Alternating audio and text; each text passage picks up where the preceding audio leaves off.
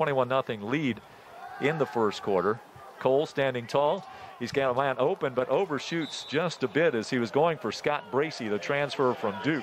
Chat about them. So a second down, a third down it is. Here's a snap through the end zone, and there should be a safety for the Dukes. Indeed it is. So the first points on the board come by the defense. And back to the action we go. Here's a quick pass out here to Bracey, making his third catch as a Duke. He had two last weekend. Long way to go to get it this way. It's a six, a fourth, and uh, nine. Johnson will go for it. He's going to run with it. And he does he get it? It's going to be really close.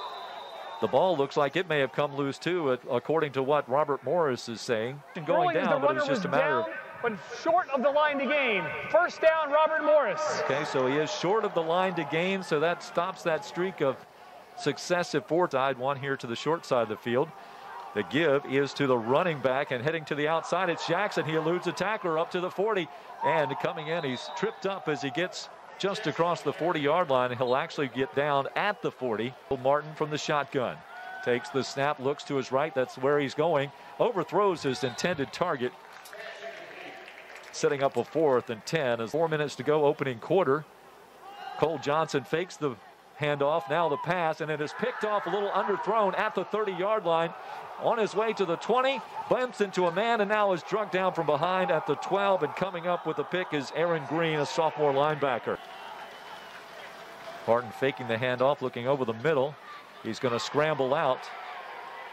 Looks back against the grain. Here comes some pursuit, and he is hit as he loses the football going out of bounds. Saglia. And they do punch it through in his JMU rushing career, and that was uh, sporadic last year. Another interception, and heading to the end zone for Robert Morris, and not quite there. Let's see, does he get in? I think they're going to spot him down at the one yard line. The only back that they've used thus far.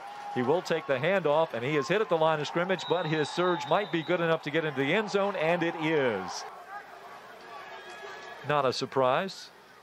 Biseglia and a flag comes out, probably something with dealing with the formation, I would imagine, as Tucker Dorsey comes up with a tackle to end the. Yeah, no sun in his eyes at this point from this angle. Let's see. Souter, and see he's protecting it, and he is hit right away, and he is fortunate to hang on to the football, and he is going to take the blow, but a penalty marker down, waving or just. Well, there he does yeah, call he for the fair catch at the end. Yes. I stand corrected. The sun was in his eyes. Kick catch interference. Kicking team number 26. After the 15 yard penalty.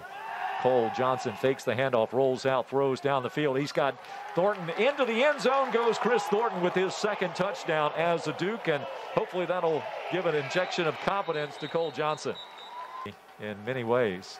They're trying to utilize his skill.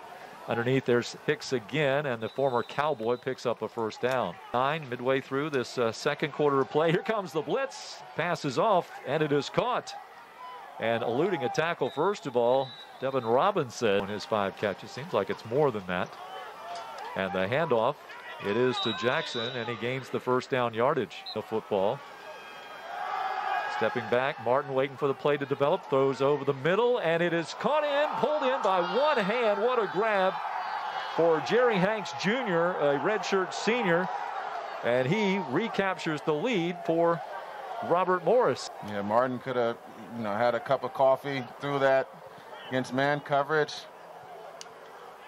Tremendous catch by the receiver. He had two that were on the coverage for the Dukes. Johnson plenty time.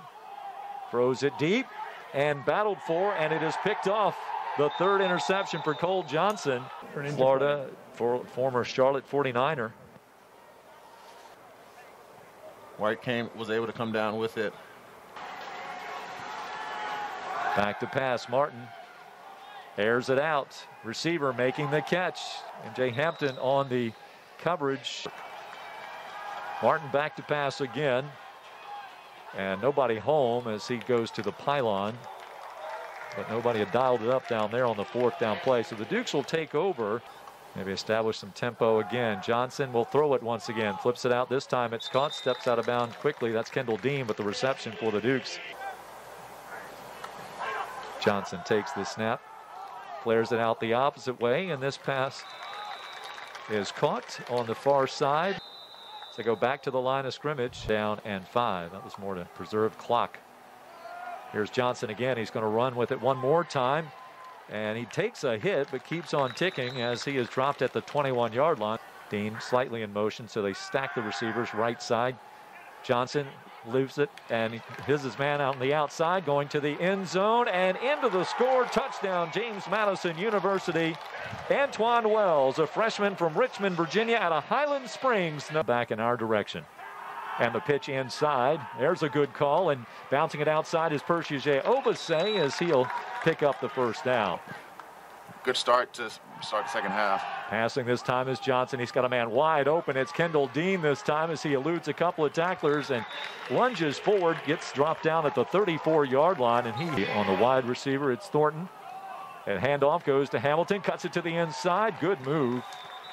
And he's taken down at the 19 yard line this time. Cheatham will go in motion. Handoff fakes to Percy, rolling out. Cole Johnson flips it out. That's Cheatham. Cheatham at the 10, lowers his shoulders and takes it inside the five yard line. I think Agyei-Obese to the 50, uh, that is, spins and turns into the end zone. Nice little jump side cut that was for Percy Agyei-Obese. Martin with a lone setback, high snap, turns and hands it off to Jackson. Steps outside, ball is loose, and the Dukes have recovered at the 12 yard line. What a hit.